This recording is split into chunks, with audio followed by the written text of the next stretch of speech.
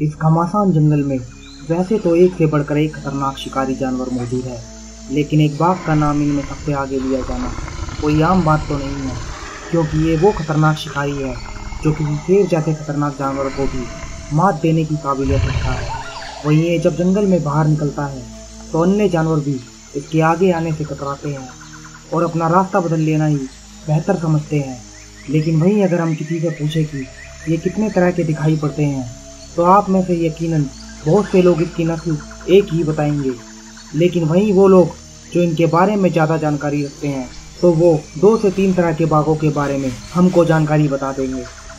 लेकिन असलियत में देखा जाए तो इस जानवर की कुल नौ प्रकार की प्रजातियाँ होती हैं, जिनमें से छः तो आज भी इस दुनिया में मौजूद हैं, लेकिन इनकी तीन प्रजातियाँ तो पूरी तरह से विलुप्त ही हो चुकी हैं। वहीं माना जाता है कि आज के समय में इस जानवर की कुल आबादी साढ़े चार हज़ार ही रह गई है। इनकी आबादी के कम होने का कारण इनकी बड़ी संख्या में शिकार किया जाना और निर्माणों के चलते इनके ठिकानों का खत्म होना है। हालाँकि इस बीच इनकी आबादी को बढ़ाने के लिए कई अभियान चलाए जा रहे हैं। तो चलिए आज हम आपको इनकी बाकी बची प्रजातियों के बारे में जानकारी दे देते हैं।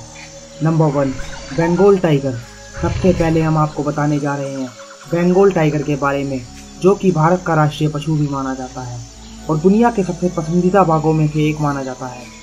ये जंगल के उन जानवरों में से हैं, जो बड़े और मज़बूत शरीर के साथ बड़े ही ताकतवर माने जाते हैं। इन बंगाल टाइगर के शरीर की लंबाई लगभग आठ से दस फीट होती है। वहीं इनकी ऊंचाई तीन से साढ़े तीन फीट तक होती है। इसके अलावा इसका शरीर का वज़न लगभग एक सौ अस्सी से लेकर ढाई सौ किलोग्राम तक होता है। लेकिन दूसरे भागों की तुलना में इनका शरीर बहुत ज़्यादा फैला हुआ दिखाई पड़ता है। इस खतरनाक जानवर का रंग पीला और नारंगी दिखाई पड़ता है, जिस पर काले या गहरे भूरे रंग की धारियाँ पाई जाती है। जंगलों में रहने वाला ये एक मांसाहारी जानवर है, जिसके शिकार जंगल के मासूम जानवर अक्सर बनते हुए देखे जाते हैं। ये बाघ मुख्य रूप से भारत में ही पाए जाते हैं, जिसके चलते ये भारतीय टाइगर भी कहे जाते हैं। वहीं दुनिया भर में पाए जाने वाले अन्य बाघों की तुलना में इस बाघ की संख्या सबसे अधिक है, नंबर टू, मलायन टाइगर। आपके सामने जो ये बाघ मौजूद है, इसे मलायन टाइगर के नाम से जाना जाता है। मलेशिया के जंगलों में पाए जाने वाला ये टाइगर तटीय इलाकों में रहना पसंद किया करता है। देखा जाए तो ये टाइगर बाकी अन्य टाइगरों की तुलना में काफ़ी छोटा होता है, लेकिन ताकत के मामले में ये किसी से भी कम नहीं है। इन टाइगर की लंबाई साढ़े सात से लेकर साढ़े आठ फीट तक होती है। वहीं इनका वज़न 120 किलोग्राम तक पहुँच जाता है। जहाँ दूसरे टाइगर अकेले शिकार करने निकलते हैं तो वहीं मलायन टाइगर उन शिकारियों में से है, जो कई बार झुंड में भी शिकार करने के लिए निकल जाता है। इनके शिकार में मुख्य रूप से जंगली सुअर, हिरण, भालू और छोटे हाथी शामिल हैं। हालाँकि देखा जाए तो इन मलायन टाइगर की आबादी में भी काफ़ी कमी देखने को नज़र आ रही है। वहीं अब दुनिया भर में केवल 250 से साढ़े तीन के लगभग ही मलायन टाइगर ज़िंदा बचे हैं। इसके कारण ही सरकार ने इन्हें तेज़ी से लुप्त होने वाले टाइगरों की सूची में डाल दिया है। Number three, Siberian tiger. Siberian tiger को दुनिया के सबसे बड़े टाइगरों में से एक माना जाता है। ये बंगाल टाइगर की तुलना में भी काफ़ी ताकतवर होते हैं। इनकी शरीर की लंबाई तकरीबन 10 से 12 फीट तक होती है, या इससे भी अधिक देखी जाती है। वहीं इनका वज़न 300 से 400 किलोग्राम तक पहुँच जाता है। इन्हें अमूर टाइगर के नाम से भी जाना जाता है। ये आमतौर पर रूस, चीन और कोरिया जैसे देशों में ही देखे जाते हैं। दूसरे टाइगरों की तुलना में इन साइबेरियन टाइगर का रंग अधिक पीला होता है, जबकि इनके शरीर पर काले के बजाय भूरे रंग की धारियाँ मौजूद होती हैं। वहीं लुक की बात की जाए तो इन साइबेरियन टाइगर की गर्दन पर अधिक फर देखने को मिलते हैं, जो इन्हें ठंड वाले इलाकों में रहने में भी काफ़ी मदद करते हैं। ये बेहद ही खतरनाक शिकारी होते हैं और अपने मज़बूत दांतों से शिकार पर बुरी तरह से हमला बोल देते हैं। बर्फीले इलाके में रहने वाले इस शिकारी के मुख्य शिकार बकरी, हिरण, जंगली सुअर और इल्क आदि बनते हैं। वहीं कहा जाता है कि आज दुनिया भर में केवल 600 से कम ही साइबेरियन टाइगर बचे हैं। Number four Indo Chinese tiger. मुख्य रूप से एशिया के दक्षिणी हिस्से में पाए जाने वाले इंडो चाइनीज़ टाइगर अपने अलग ही रुतबे के लिए जाने जाते हैं। इनके शरीर पर नारंगी या पीले रंग के बाल होते हैं, जिन पर काले रंग की धारियाँ होती है। दूसरे टाइगरों के मुकाबले में इन इंडो चाइनीज़ टाइगर को अकेले रहना ज़्यादा पसंद होता है।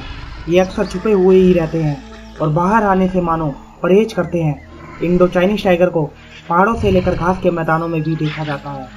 ये बहुत ही अच्छे शिकारी हैं और पलक झपकते ही अपने शिकार को मार गिराने की ताकत रखते हैं। आमतौर पर इन टाइगरों की लंबाई आठ से नौ फीट तक होती है, जबकि इनके शरीर का वज़न 100 किलोग्राम से लेकर 200 किलोग्राम तक पहुँच जाता है।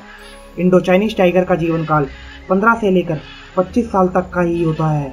वहीं हम आपको बता दें कि इस इंडो चाइनीज़ टाइगर की आबादी लगभग दुनिया भर में केवल 250 के आसपास ही रह गई है, जबकि चीन में ये पूरी तरह से विलुप्त होने की कगार पर पहुँच गए हैं। Number five South China tiger South China tiger की आबादी भी बीते कुछ दिनों में तेज़ी से घटती हुई दिखाई दे रही है।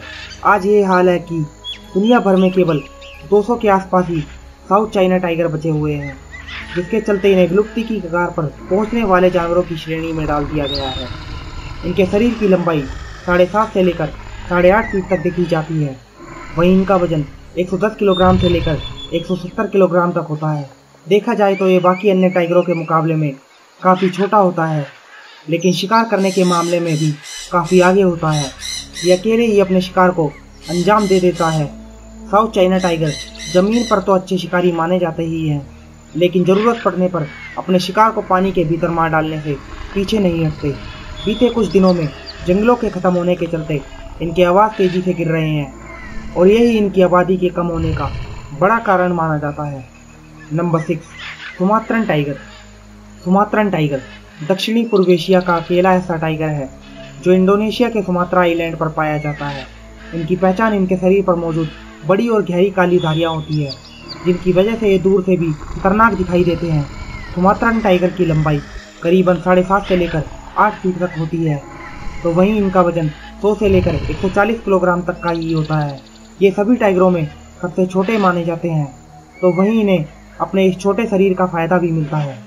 दरअसल सुमात्रन टाइगर पैंसठ किलोमीटर की रफ्तार में दौड़ने में माहिर होते हैं, जिसके चलते इनका शिकार भी इनसे ज़्यादा दूर तक नहीं भाग पाता और इनकी पकड़ में आ जाता है। वहीं अन्य टाइगरों की तरह ही इनका शिकार वही जानवर बनते हैं, जो आमतौर पर जंगल में आसानी से देखे जाते हैं। ये अक्सर दिन की बजाय रात में ही शिकार करना पसंद किया करते हैं। लेकिन ये भी देखा जाता है, जब कोई इंसान आसपास ना हो तो ये दिन में भी शिकार करने से पीछे नहीं हटते।